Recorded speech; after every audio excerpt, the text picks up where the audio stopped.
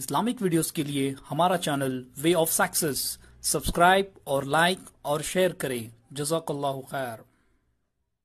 अगर आप ये लफ्ज निकाह में पढ़ते हैं निकाह मिन सुन्नति, निकाह मेरी सुन्नत है, नबी की सुन्नत है सल्लल्लाहु अलैहि वसल्लम तो हमारे ऊपर वाजिब है निकाह नबी के तरीके पर पढ़ाया जाए। क्या हैसियत है हमारी? अल्लाह रहम फरमाए। क्या हैसियत है हमारी आज? निकाह शादियों के अंदर जो असल चीज़ रह गई है, निकाह ग्यारह बजे रखा जाता है और बहुत कम सौ में नब्बत निके ऐसे होते हैं, ग्यारह बजे नौशो साहब आते ही नहीं। पानी नहा रहे हैं ग्यारह बजे। जी, सही गलत। सही गलत? ना इमाम की कोई हैसियत, ना मस्जिद की कोई हैसियत, ना दफ्तर की कोई हैसियत, ना कोई शरीयत, कुछ नहीं है इनके पास। मन की मर्ज़ी है शादी के अंदर। जी हाँ कुछ इलाकों में है सुबहान अल्लाह वक्त पर नहीं आए तो जिस वक्त पर कमेटी कहेगी, उस वक्त पर निकाह होगा। मगर हमारे पास इसका अहतमाम नहीं है।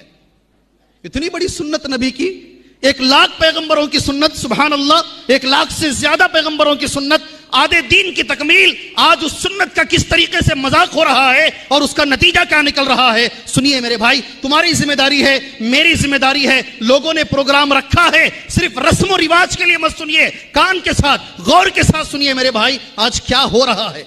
एक करोड़ मेरी तुम्हारी बहनें, कितनी? एक करोड़ कम से कम तादाद इस हिंदुस्तान के अंदर, ऐसी हमारी बहनें हैं, शादी की उम्र पार कर चुकी हैं। शादी हुई नहीं। उसमें से कुछ लोग कहते हैं, चालीस लाख बच्चियाँ ऐसी हैं जिनकी उम्र चालीस के ऊपर है, निगाहें देख रही हैं। इसलिए इन मालदारों की वजह से यह सुन्नत का मज़ाक उड़ाने वालों की वजह से यह जहेज का लेन देन करने वालों की वजह से आज बच्चियाँ जिना की तरफ़ जा रही हैं।